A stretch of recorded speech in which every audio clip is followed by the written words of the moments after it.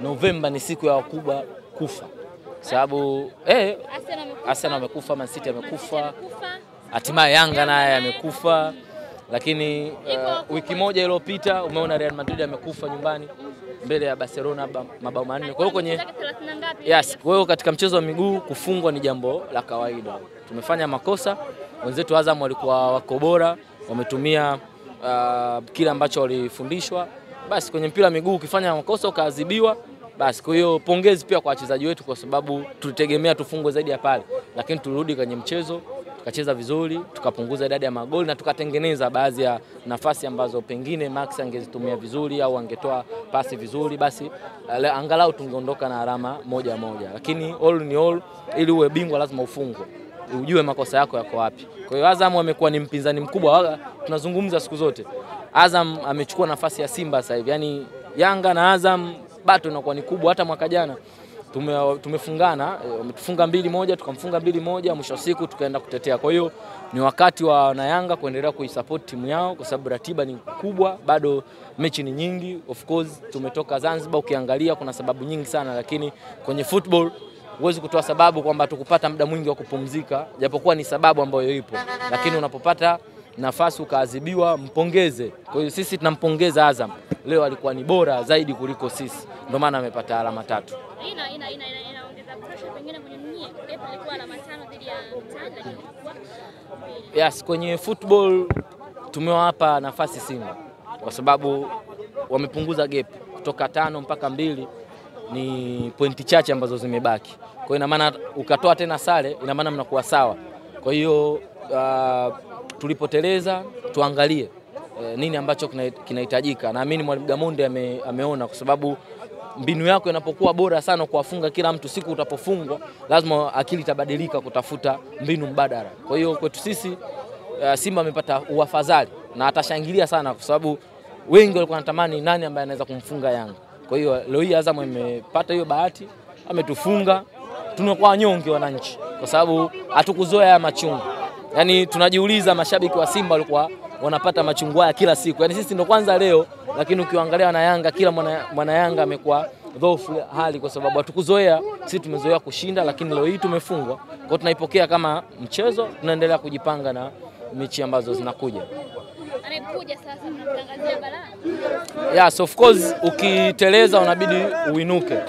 Kwa hiyo anayekuja uh, nafikiri kuna mechi moja kabla ya kwenda katika ligi ya mabingwa mbili, eh, kabla kwenda katika ligi ya mabingwa. Kwa hiyo ni lazima tuendelee kujing'ang'ania, lakini uh, marefu wamekuwa na changamoto kubwa. Sisi tukilaumu sasa hivi tutaonekana kwa sababu tumefungwa, lakini umeona changamoto ilikuwa ni kubwa. Ile red card kwangu mimi pengine nilikuwa nimekaa usawa na Malaisman, haikuwa red card kwa sababu Baka alikuwa pamoja na mabeki wengine kwenye ule mstari, lakini pia sheria mpira inasema kama beki atakuwa wa mwisho kwenye eneo la 18 lile box akamshika mshambuliaji au akafanya rafu ya mshambuliaji kwenda kufunga ni straight red card, lakini anapokuwa nyuma huwezi kutoa red card. Ni sheria ambazo zipo, lakini mwamuzi ameamua lile ambalo ameamua. Kwa hiyo alitupa changamoto kwa sababu tuko pungufu, mipango ilivurugika. All in all, basi tunasema Azam ameshinda. Poa. Na sisi mashabiki tunarudi baadaye kwenye mchezo mwingine wa ligi kuangalia nini tutapata. Ligi ni marathon, unafungwa leo. Hata Azam huyo aliyotufunga leo, msimu jana ametufunga na bado tukaweza kumaintain kuchukua ubingwa na kutetea ubingwa wetu. Kwa hiyo bado ni mapema sana kusema kwamba Yanga tumeondoka kwenye mbio. So far tukilingana na michezo tunakuwa bado pale juu kwenye tofauti ya alama mbili. Hatujui e, matokeo ya Singida na Coast yatakuwaje, lakini e, tunatamani kuendelea kusalia juu kwenye msimamo wa ligi kuu wakipenda inshallah, lakini ni bado mapema kuikatia Yanga tamaa bado mapema sana sana sana. Nimeumizwa kiasi kwamba yani e, flow zinakosekana Maana mechi nane hamjapoteza. ya yani inauma sana kulinda usichana wako, afu mwisho wa siku baadaye unashangaa unakuja unafungwa. Sisi tumeumizwa, lakini tunarudi kujiandaa. Mimi binafsi kwanza nimeumizwa sana kwa sababu nime- nimevimba sana mtandaoni, afu da naondoka Chamanzi kulivyokuwa mbali mpaka Mbezi Beach. Naombeni mnibebe tu kwenye noa zenu.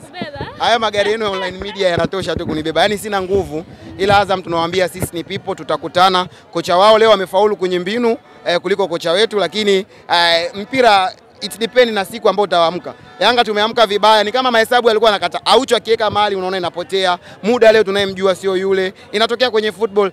Baka pia tunamjua sliding tackling sio za namna ile. Eh, tumeshapoteza ndugu yangu, haina budi, tutaweza kuongea hapa hata mara ishirini, lakini ndo Yanga tushapoteza, tunarudi kujiandaa. Najua vita ya alama tatu imeisha hapa, tumeziangusha. Azam wanatucheka, lakini ni vita nyepesi kuliko vita ya kwenda kuwasha bando sasa hizi kwenda mitandaoni. Ni vita kubwa, pengine natamani mpaka Yanga tupate michezo miwili au mmoja ndo nirudi mtandaoni. Kwa sasa hizi ndugu yangu, zile komenti zangu hamtaziona tena. Azam wiki hii wamenijibu Yusufu pia mchana nimeona amenijibu kwenye comment ya Jemedari, lakini nawaahidi wiki hii sirudi tena mitandaoni. Zile comment ninazotukanwa pale kwenye posti yangu ya mwisho, mnisaidie kujibu waandishi wa habari. Sasa Kevo, ah, una, una, unasema kwamba pengine mwalimu wao amefaulu kwenye mbinu, sio kwamba ubora wa Mwalimu wao ni bora, ndo kuna maana kuna nyakati bora, kikosi chao.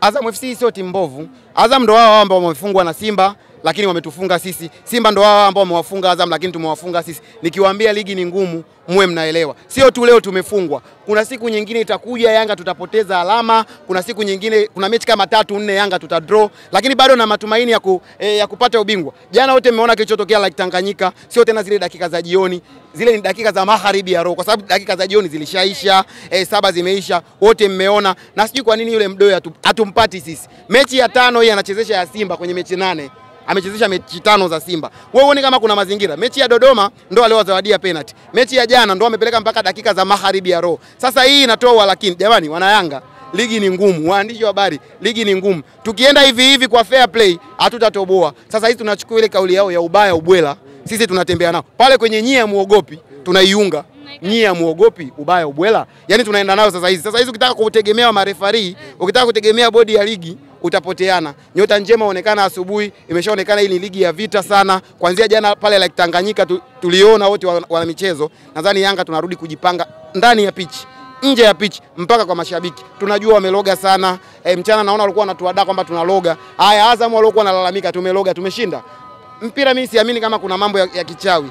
Njoo uwanjani, msurprise mpinzani, mzidi mbinu mpinzani, unashinda. Leo nakiri kocha Gamondi alizidiwa mbinu na kocha wa Azam, na kocha wa Azam sio kwamba ana mbinu kubwa, aliamua kuchagua gemu yake na Yanga kutumia tactical genius ambayo amebarikiwa na Mwenyezi Mungu, amekuja kuushinda mchezo. Alijua kabisa Yanga tukija tunakuja kucheza dhidi ya Faisal.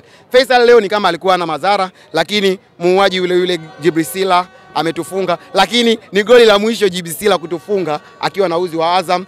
Wote mnajua hapa Jibrisila mwelekeo wake ni wapi. Pengine magoli ya Jibrisila mtaanza kuona, ndio maana siumii. Angefunga Faisal, pengine hata ningeshindwa kutembea. Amefunga Jibisila, I'm happy kwa sababu ni mchezaji wangu anayekuja kwenye eh, dirisha dogo. Mimi sitaki kuongea sana. Nasemaga ukiwa na hasira sana au ukiwa na furaha sana, usiongee, unaweza ukatoa maboko. Leo tu mniache nikapumzike, ila msisahau mkimaliza mahojiano na watu wengine, mnipe lift kwenye magari yenu. Niko hoi, unapajua ninapokaa kule Mbezi Beach kwa Zenda.